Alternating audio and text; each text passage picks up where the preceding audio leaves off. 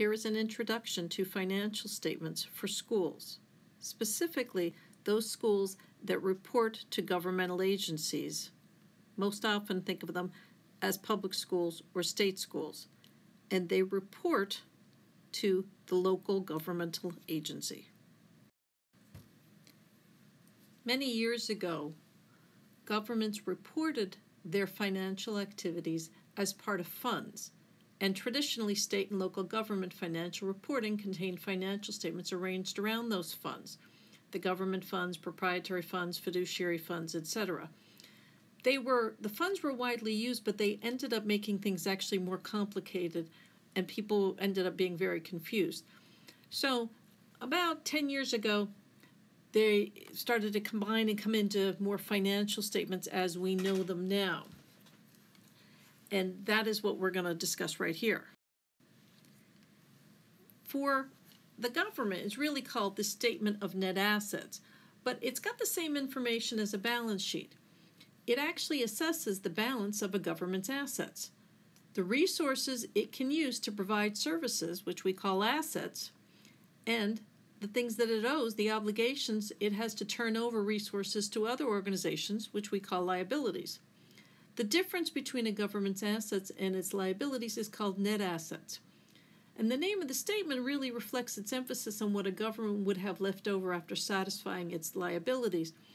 But an awful lot of individuals, especially those on school boards, don't think about them as um, resources and liabilities as such, they think of them as balance sheet terms, and that's why I'm using that term here. And net assets, in and of themselves, we'd have them as stockholders' equity for a corporation, but they're an indicator of a government's financial position. It's standing at any point in time. So we're going to start with assets. Assets are presented in order of the relative liquidity, how quickly they get turned into cash. This is something that exists for corporations as well as for schools. So, in other words, the statement starts off with cash and assets that are most easily converted to cash or consumed, such as receivables, and then it leads to those expected to be used for many years, such as buildings and other capital assets. The example I have here doesn't have um, long term assets, and that's simply because in this case the school does not own it, the sample school that is being given. But most of the other things are the same as what we've talked about in the chapter. Cash and cash equivalents is exactly the same.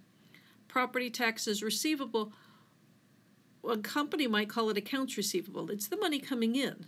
From a school point of view, we know that it's property taxes that are coming in. There's an allowance for uncollectibles. We have that in a corporation as well. Due from other governments would just be other receivables. Accrued interest is interest we have yet to receive, but we have earned on our investments, etc. So we end up with the same kind of things, including inventory. There's not really much difference in the asset area.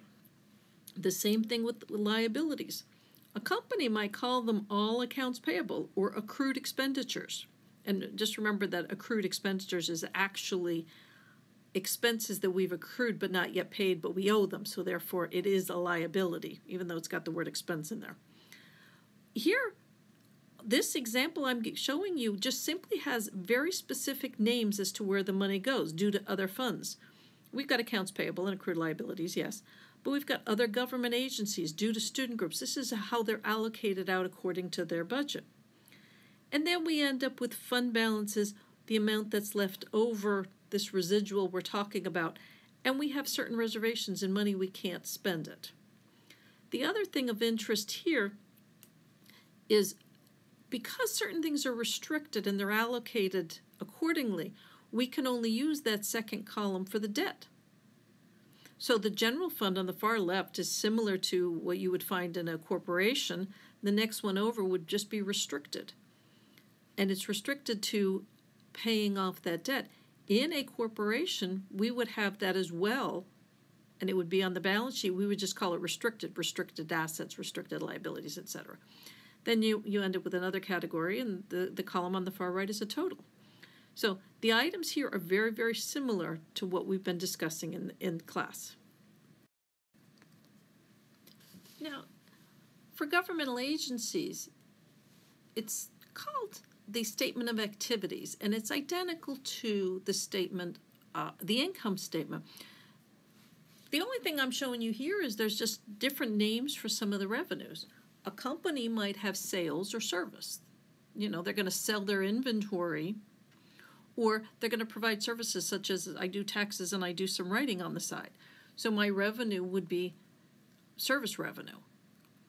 Here, a school knows that their money comes from property taxes, so that's the revenue, or the money comes from straight aid, state aid. So that's a, the name of the revenue account.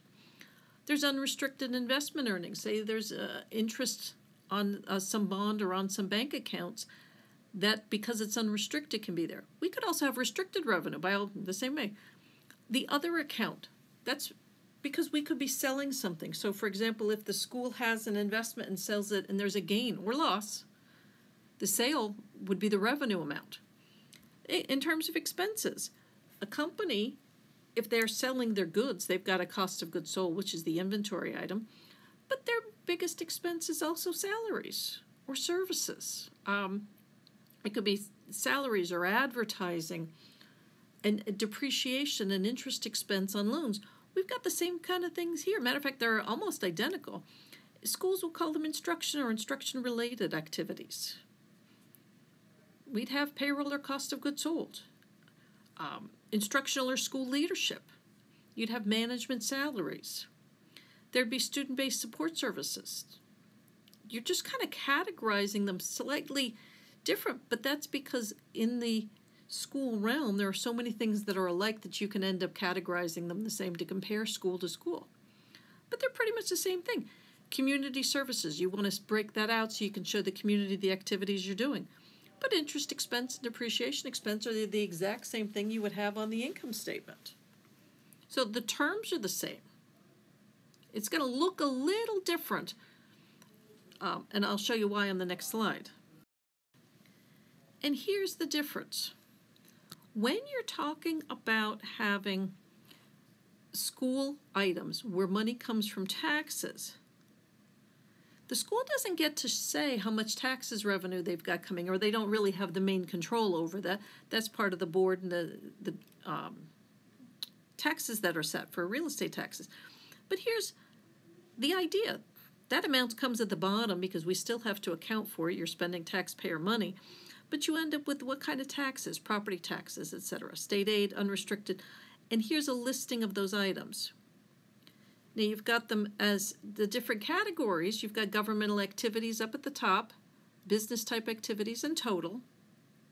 And so everything's balancing, but the assets here are just a little bit different.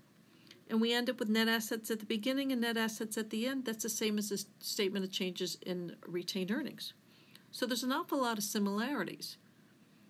A company puts revenue minus expenses. A school puts their expenses first because those are the things that they get to control. And there's really um, just a few things that end up showing up here. You end up with categories. You know, think about the expenses. This would be something a corporation would have everything together. And if there were restricted items, that they would be listed separately schools don't have to do that, but they've got to account for things a little more carefully because they're you know if you're get if you get a grant for something, that's how you have to spend your money. So you've got to make sure you've got your grants. You've got other things than when you're charging for services. Now the capital gains and contributions, what else comes in? And we'll, we're going to get into more specifics uh, of these terms as we move through the course because these items are very similar to the ones that we're dealing in financial accounting. So the only thing that happens is the order looks different and the names of the accounts might be slightly different. But basically, the financial statements you're dealing with for a school can be very comparable to the financial statements we're dealing in this class. So hopefully this information helps you compare what you're doing with your jobs and what we're doing in the class. If you've got any questions, let me know.